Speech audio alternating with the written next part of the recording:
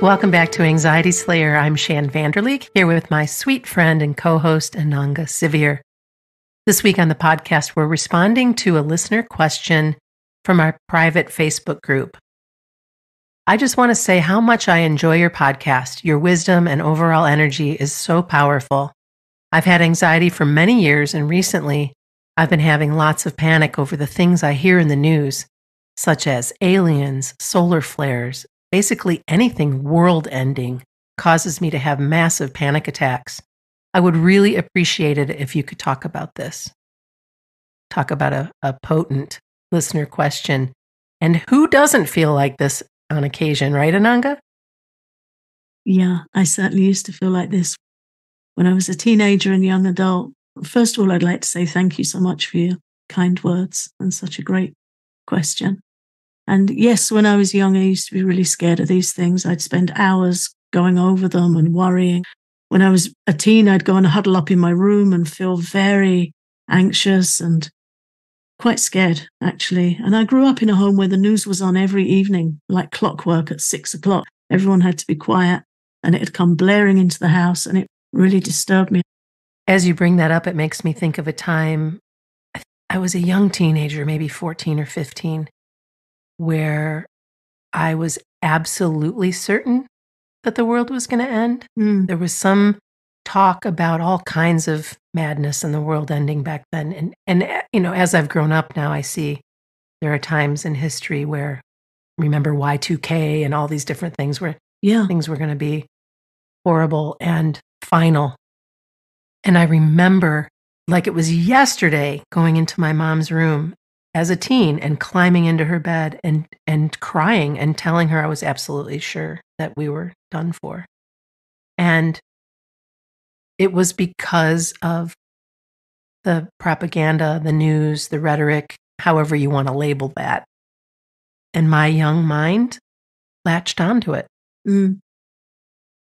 And I remember being so grateful that I had a mom to tell me that everything was going to be okay and that, that that was not the truth. And um, I don't remember what happened from there, but I suspect she probably made me some food or as mothers do mm-hmm. to feel better. But, uh, and, and now I think that was so long ago. And in today's world, there's so much more coming at us, even more than that uh, 6 p.m. appointment for news. It's all the time, 24 7.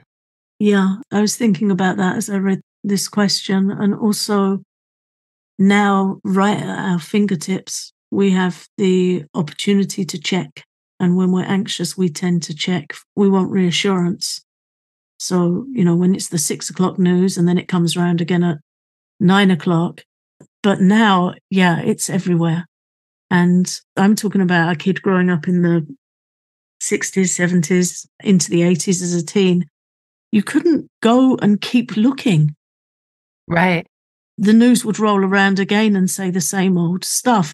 But even as dire as it often was and as distressing as it often was, it was a scheduled show with a set amount of time. Right. So now we have, as you just said, so much more coming at us constantly. And when the mind's anxious and it goes to look at things on Google or wherever for reassurance, and we know with health anxiety and so many different kinds of anxiety, what we tend to do is cause ourselves more anxiety. And that's why it's so key that we share some things that will help and some things that you can do if you're feeling like it's all too much, all of this news and all of this doom and gloom. And the first thing you can do is give yourself a break from it. Give yourself a break from screens and from the news and go a little bit more internal and really care for yourself and your family and your space and your work and not be in that space of opening to all of this other data and all of this other energy that doesn't serve you well. Yeah, that's what helped me when I was younger was to nourish the internal. First of all, reading information that I found really hopeful and inspiring, reading and information with a different worldview. reading the Bhagavad Gita, reading different Vedic texts. I would read all kinds of interesting things, anything other than what seemed like what was coming out of the news. I remember traveling in London to an old bookstore, it's still there, called Watkins Books. It was like a kind of mystical bookstore, big place, really cool building. And I'd go in my lunch hour and just stand in front of the shelves and look, look for reading that made me feel less anxious, more hopeful, more settled, expansive, inspiring reading. That really helped me. That's such a good choice to make, too. And, and to remember that you do have choice. Because what we know about the news is the sole purpose is to create ratings and to sell things. And how do they do that? Well, they have to shock us, don't they? Mm-hmm. They have to scare us. They have to do things that make you feel compelled to watch, even if it's uncomfortable. And my goodness, just paying attention to what's been happening, even beyond this question, because this question came in probably a month or two months ago. And since then, what has happened with the weather patterns and the floods and the losses of life and the fire in Maui. And you're just kind of dumbfounded by all of it. Yeah, it can make us feel really helpless.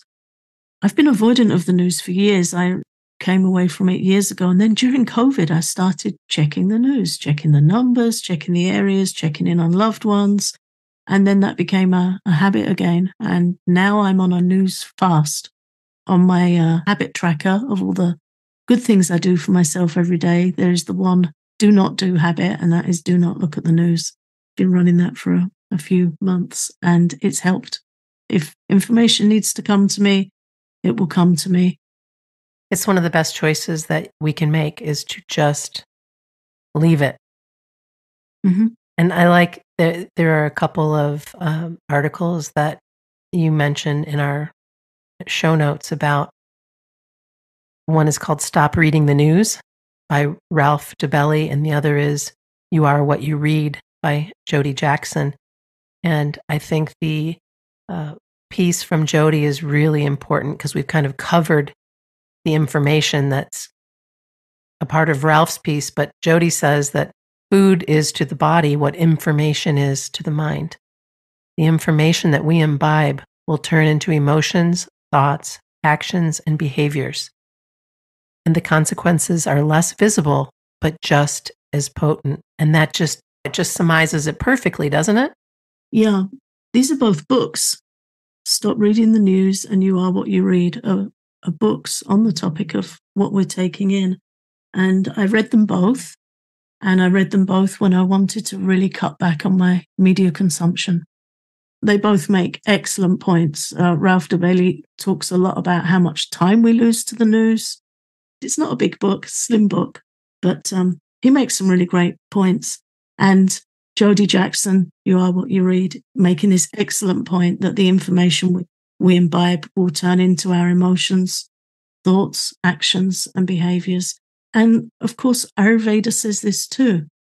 And we often talk when we're sharing information on Ayurveda about nourishing our mind and supporting and protecting our nervous system. And Ayurveda teaches that the mind needs nutrition, which again is where I benefited from reading wisdom texts. And Ayurveda says that the news is like junk food. It gives us mental heartburn and it gives us indigestion. And we need nourishment for our mind. We need reading that inspires us, keeps our mind well fed, with good things to think over and good things to talk about. The challenge with negative news is it really gets into our head. And then you find in the quiet moments of your day, it's there running. It's a running dialogue. And we start to chew it over and feel anxious about it. And I find that good reading, inspirational reading, is a really healthy antidote to that because you can switch over when you notice your mind turning over things that you worry about. You can ask yourself, is this helpful? No. And then come over, what did I read that was really interesting? What was that thing I was reading earlier that made me feel, you know, some hope? Mm-hmm. Let me remember that and reflect over that. So it becomes a, a practice, a self nourishing practice to come away from those thoughts. I also like to do the access statement. Interesting point of view. I have that point of view when something pops into my head, whether that be something, the, the fear that I might be creating, the dread I might be creating.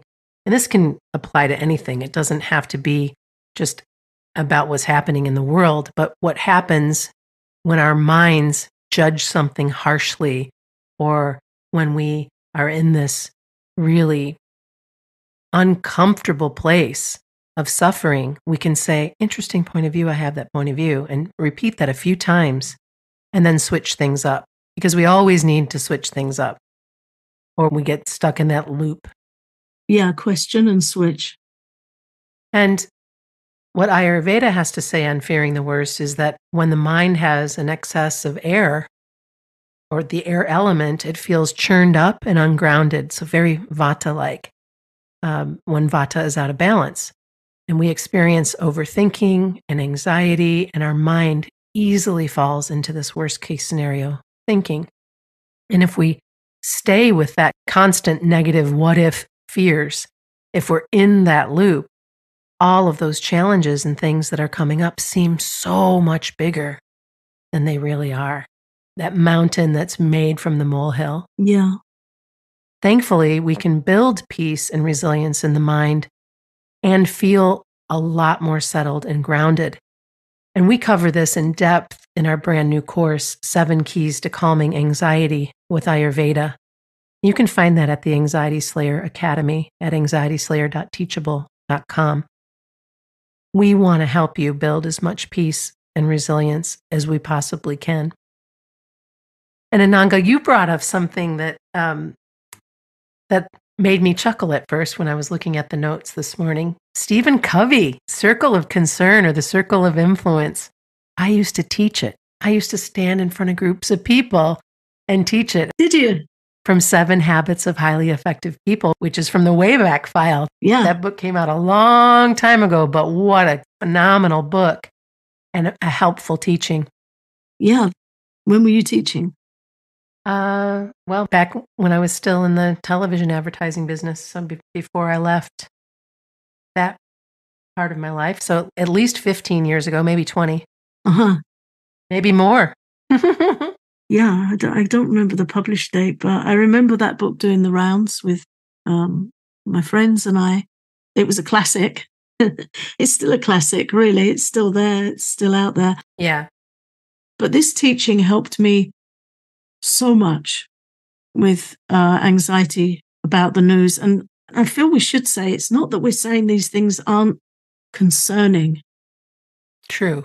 The things mentioned in this question, we're not just saying, oh, don't watch it and it'll all go away. For me, dealing with this kind of fear and having experienced it very strongly myself for quite a chunk of my earlier years, for me, it was about building peace of mind and resilience and finding a way to deal with it.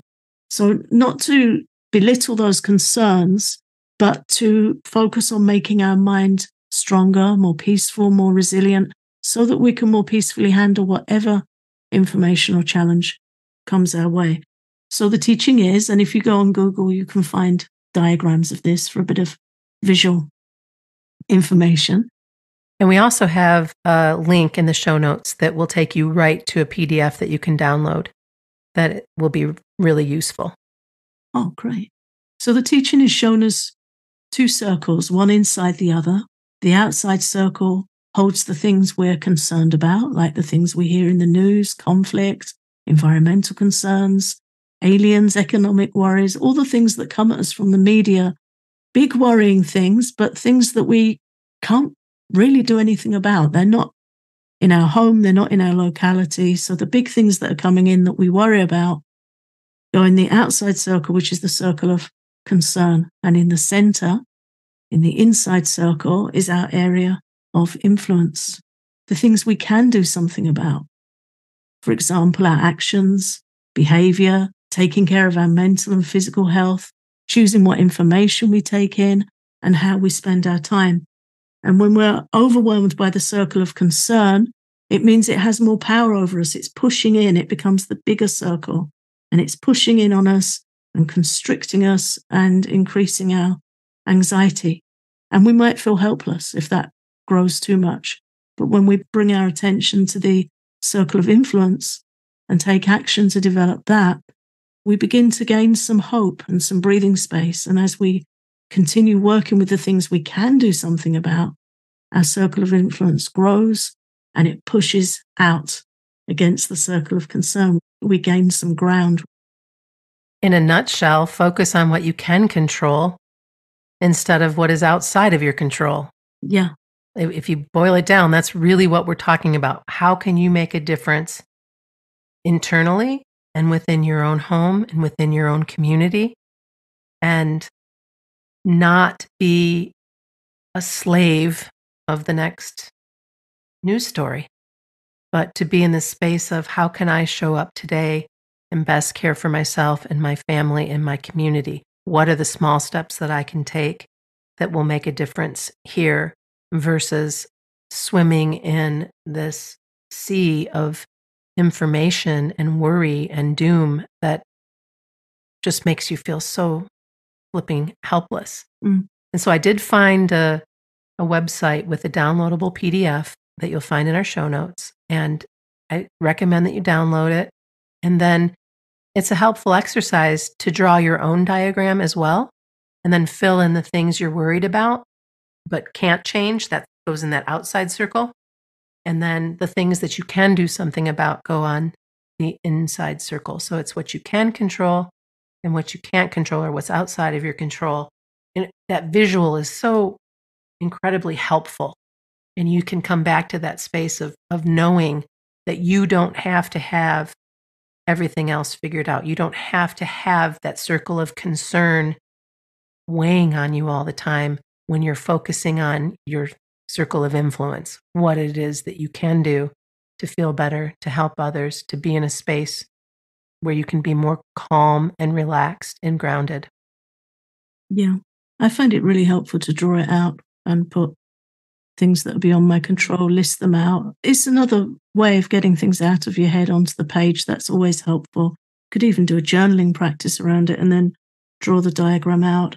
And then uh, leave room in that inside circle to focus on the steps you can take, the things you can do something about, and to help yourself focus in on that area of influence. And as we often share, any step counts. It doesn't matter if it feels like a small step, it's your small step. And every action that's positive that helps you pushes back a bit more on that outside influence. Mm. And there are several things that you can do to start feeling more calm and at peace when all of this crazy businesses coming at you. And I want to start by sharing something that I think is important. If you are in a household where you cannot escape the news. If you're a younger person or if your partner or however it is that that news comes on, please get some noise canceling headsets. If you have to be in the room, or if you are in a smallish environment and you don't want to have it come in, just put those on, listen to some music, read something, move to another space. I do it. I do that in my own house sometimes. My husband wants to turn on the news, and I want to still be in the space with him. My eyes go off the screen. I am listening to something or reading something. Uh, well, always listening so I don't have to hear it. And it's been really helpful. And then the obvious things avoid the source of anxiety. If it's the news, take a break from the news. If it's uh, a friend who likes to spew all kinds of negativity, you need to take a break from them as well on occasion.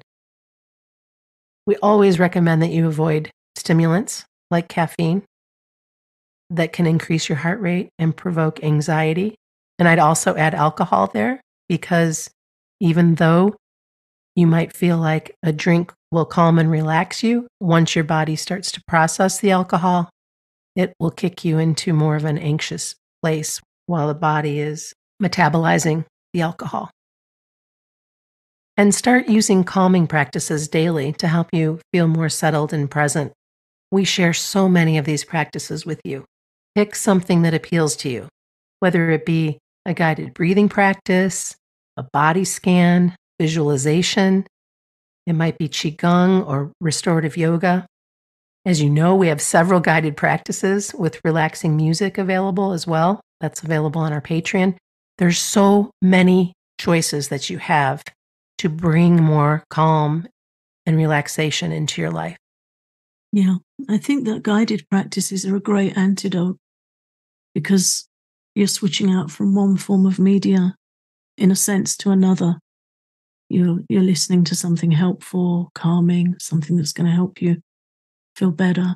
Sometimes when we feel really anxious due to incoming information, we need that little bit of extra support, and having something else to follow can really help. Thank you so much for listening to Anxiety Slayer. We're grateful that you come back again and again. Ananga, thank you for another wonderful conversation. And again, thanks to our listener who sent that question in. We invite you to take a look at our brand new Ayurveda course. It's called Seven Keys to Calming Anxiety with Ayurveda. And it's an introduction to the healing wisdom of Ayurveda for soothing stress and anxiety.